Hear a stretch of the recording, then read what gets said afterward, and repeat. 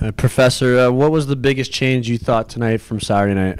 Yeah, no, I thought we had a willingness to, to actually play to our game plan. Um, Madison's a really good team. They're a well coached team.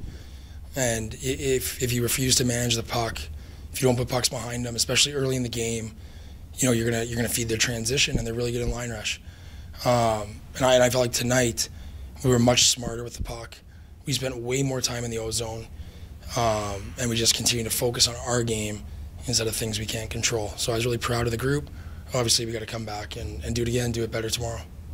Uh, Professor, talk a bit about the defensive zone too, because it seemed like at, at times in the third and in the second, I mean, like late in the game, you guys just holding the puck and dominating play.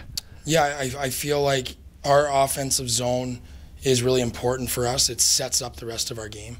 Um, so that we did a good job there. In our defensive zone, I don't, I don't think we spend much time there. So speaking of intensity, Dylan Robbins seemed like he was on another level tonight. What do you think? I think it's the best of hockey he's played for us. Uh, had a huge moment. Really proud of him. Gave him the game puck. Like you know, he blocked some shots. He made some really good puck decisions.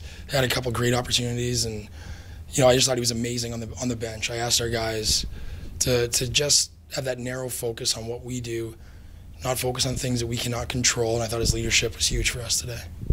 Uh, Professor Christian Mann's first career shutout. Uh, your thoughts on his game? Yeah, I, I thought he was he was composed, he was controlled, he ate a lot of pucks, and that's what we asked from our goaltenders. Um, when we play our game, you know they're going to see a lot of shots from the outside, and it's up to them to control pucks, get faceoffs, and then we reset. And I felt like he did a great job um, was was and then playing the puck. I thought he was awesome tonight, which was really important for him. Coach, what do you think is the biggest detail uh, on the verge of a game three tomorrow night to advance to the next round? Yeah, I, I think there's more than one thing. The biggest thing is is making sure we manage the puck and that we play with the tempo and pace that we're capable of. If we do that, I think we'll be good.